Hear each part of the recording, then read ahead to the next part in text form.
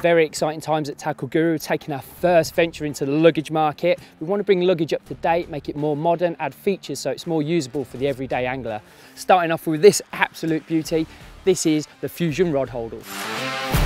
Many of you might have already seen this bag on the bank, some of the Guru lads using it, a few sneaky peeks on social media. It's got some absolutely wicked features.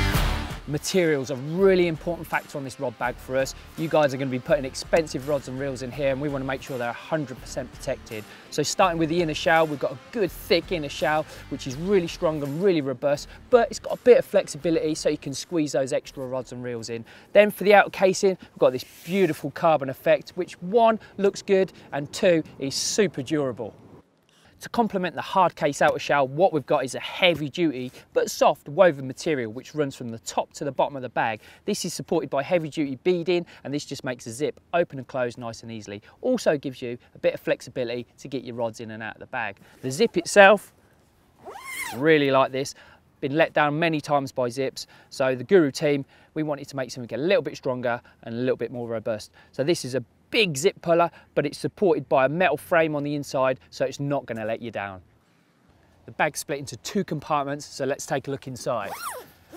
What we've got is two full zips, and then there's a big divider in the middle. This is nice and padded, obviously to keep your rods separated for one, but also protected. You've also got outer padding on the inside of the hard case, again, just for that extra protection. And on one side of the bag, as you can see, we've got two internal pockets. This is a really nice feature, especially for those anglers that just take one rod bag fishing, they're into their feeder matches, or just want to get everything in one bag. So now you've got that option. What you've got is you've got a slightly longer pocket, which is good for housing landing net handles, umbrellas, big nets, and then you've got a smaller pocket down below, which is perfect for your quiver tip tubes, your measuring sticks or anything you want to put in there. Little bait brolly fits in there nicely. So there you go, it's a full system. So you can literally just take this bag and you can get everything in it for a day's fishing.